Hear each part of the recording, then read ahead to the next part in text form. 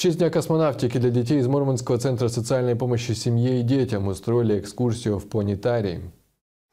Чтобы понаблюдать за небесными телами, не обязательно отправляться в путешествие на ракете. Достаточно посетить местный планетарий. Так ребята из Мурманского центра социальной помощи семье и детям впервые прикоснулись к галактике и звездам. Сегодня для них открылся космос в прямом смысле слова, потому что вот когда мы разговаривали, никто из детишек раньше здесь не был.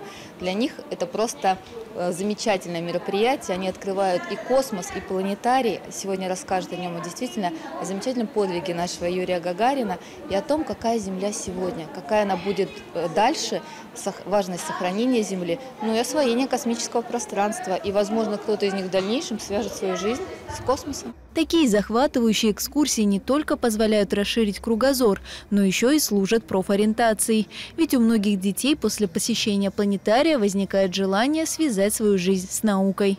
Мы проводим всевозможные мероприятия для детей разного возраста. А, естественно, это и научные шоу космические, научно-популярные, э, прививают именно знания по естественно-научному циклу.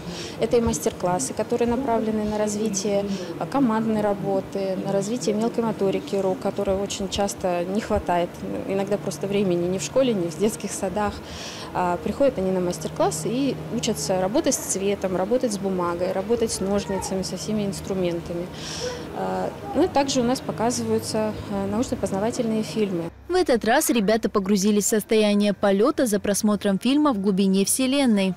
Но еще больше эмоций у них вызвал «Звездный глобус». Каждый находил свое какое-то свой знак зодиака, созвездие, которое этому знаку зодиака соответствовало. Девочка у нас попалась, которая, которую зовут Вероника. Она нашла свое созвездие волосы Вероники. Мы объяснили, что это скопление звезд, то есть это несколько звезд, которые фантазия добавляла, как будто бы вот эта прическа.